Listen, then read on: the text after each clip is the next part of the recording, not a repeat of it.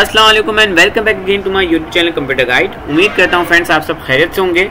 आज की वीडियो में हम बात करने वाले हैं कि हम एक्सेल के अंदर कॉन्केटिनेट फार्मूला को किस तरीके से यूज़ कर सकते हैं। कॉन्केटिनेट काम क्या करता है? कॉन्केटिनेट का मतलब क्या होता है? कॉन्केटिनेट का मतलब होता है किसी भी चीज़ को कॉम्बाइन करना या किसी चीज़ को ज्वाइन करना। जो दो अलग अलग सेल में आपको टैक्स दिए हुए हों, उनको आप कॉम्बाइन करना चाहते हो तो with the use of concatenate formula हम इजीली कर सकते हैं ये काम, ठीक है?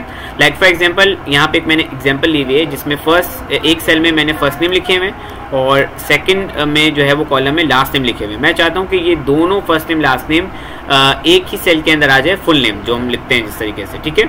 ये काम हम जो है वो मैनुअली लिख कर कर रहे होते हैं, बट ये हम जो है वो काम with the use of concatenate formula बहुत ईजिली कर सकते हैं।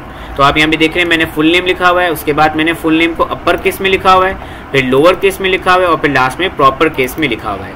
ये काम हम with the use of concatenate formula किस तरीके से कर सकते हैं, वो आज की वीडियो में हम देखने वाले हैं। तो चले आइए वीडियो को स्टार्ट करते हैं। ओके okay, अब मुझे with the use of concatenate formula full name लिखना है तो मैं किस तरीके से करूँगा? सिंपली मैं लिखूँगा is equal to concatenate text one text one के अंदर इस वाले सेल को सेलेक्ट करेंगे कॉमा लगाएँगे और टेक्स्ट टू के अंदर जो है वो इस वाले सेल को सेलेक्ट करेंगे नीचे वाले। ठीक है? और ब्रैकेट को कर देंगे क्लोज एंटर करेंगे तो यहाँ पे क्या करेगा? कॉम्बाइन करके लिखे दे देगा। लेकिन इन दोनों टैक्स के दरमियान चूँकि हमारे पास स्पेस नहीं है तो हम क्या करेंगे कॉन्केटनेट फार्मूला के अंदर इन दोनों टैक्स के दरमियान डबल कोड लगा देंगे स्पेस देकर कॉमा लगाएँ एंटर कर दें। तो ये क्या करेगा आपको यहाँ पे स्पेस के साथ फुल नेम लिखकर दे देगा। इन डब, डबल कोट के बीच में आप कुछ भी लगाना चाहें जैसे फॉर एग्जांपल आप लगाना चाहते हैं डैश तो आप डैश भी लगा सकते हैं।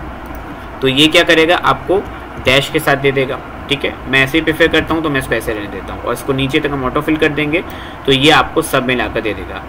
अब इसी चीज़ को अपर केस में लिखना चाहते हैं कॉन्केटनेट फॉर्मूला को तो वो कैसे करेंगे? इसके लिए इज़ इक्वल टू लिखना है अपर लक लिखना है।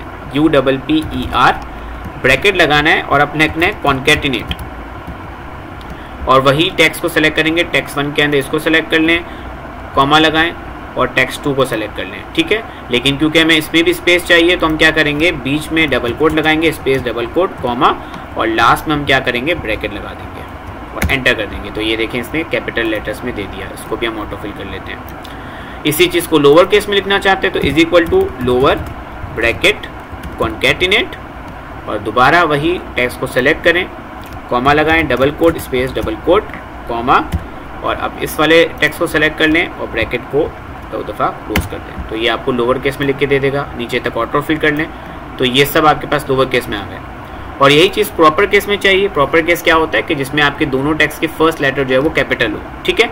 तो इज़ इक्वल टू प्रॉपर लिखें सिंपली ब्रैकेट लगाएँ कॉन्केटिनेट लिखें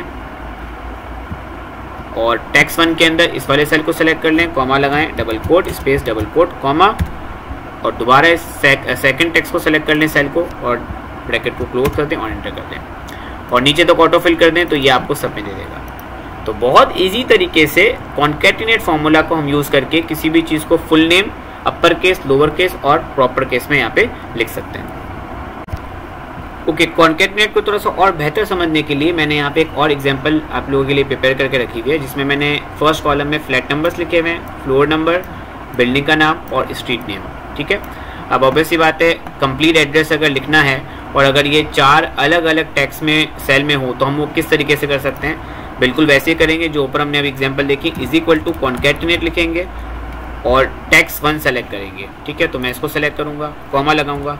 अब मैं टैक्स टू को सेलेक्ट करने से पहले क्या करूँगा, वही डबल कोड लगाऊँगा, क्योंकि मुझे ये चीज़ स्पेस में चाहिए। कॉमा लगाऊँगा, अब टैक्स टू तो टैक्स टू के लिए ये सेलेक्ट कर लूँगा। कॉमा लगाऊँगा, दोबारा double quote space double quote comma अब थर्ड सेल को सेलेक्ट करूँगा कॉमा लगाऊँगा double quote space double quote comma और लास्ट वाले सेल को सेलेक्ट करूँगा और ब्रैकेट को कर दूँगा क्लोज और एंटर कर दूँगा। यस ठीक है? तो इसने क्या किया कि मुझे पूरा कंप्लीट एड्रेस लिखकर दे दिया। Flat number six zero one third floor Himani Centre Green Street अगर मैं इसको नीचे तो ऑटो फिल करूँ तो देखें सब में मुझे वो जो है वो कंप्लीट एड्रेस जो कि अलग अलग सेल के अंदर थे, एक साथ लिखकर दे दिया। तो बहुत आसानी के साथ कॉन्केटिनेट फार्मूला को यूज़ करके आपने ये काम कर दिया। तो बहुत ज़बरदस्त सा फार्मूला है। आप इसको लाजमन ट्राई कीजिएगा और मुझे बताइएगा कि आप से जो है वो आपको कितना यूज़फुल लगा ये, ठीक है? उम्मीद करता हूँ आज की वीडियो आपको अच्छी लगी होगी। मेरे चैनल को लाइक कीजिएगा सब्सक्राइब कीजिएगा, अपना ख्याल रखिएगा। नेक्स्ट लेसन में दोबारा मिलेंगे। अल्लाह हाफ़